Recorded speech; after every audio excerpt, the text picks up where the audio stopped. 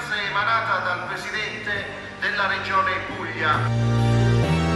Dichiarare di essere rientrato in Puglia, non spostarti da casa, non uscire da casa, non viaggiare per 14 giorni. La Puglia si prepara insomma ad affrontare un altro controesodo. Da lunedì infatti potranno tornare anche coloro che lockdown ha bloccato al nord. Quarantena forzata secondo quanto imposto dal presidente Emiliano anche per chi verrà in Puglia per lavoro.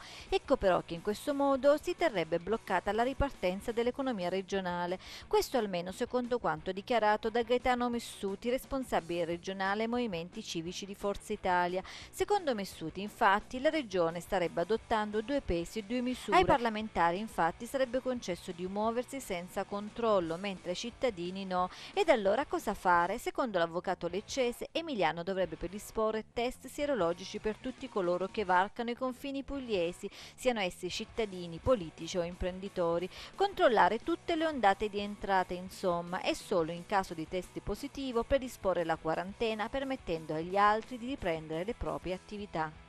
Onorevole, ma voi parlamentari siete immuni dal contagio perché voi non fate né test, non fate nulla, entrate e uscite dalla regione senza quarantena.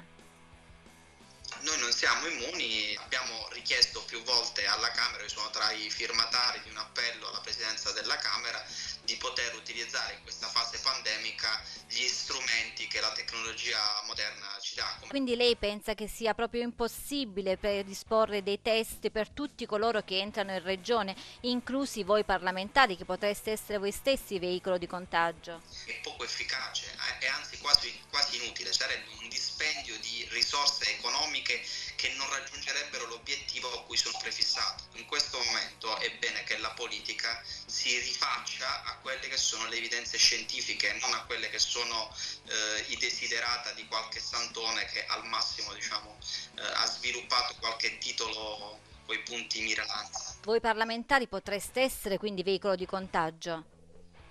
E infatti è la ragione per cui personalmente ogni qualvolta rientro da, da Roma rispetto alla mia quarantena.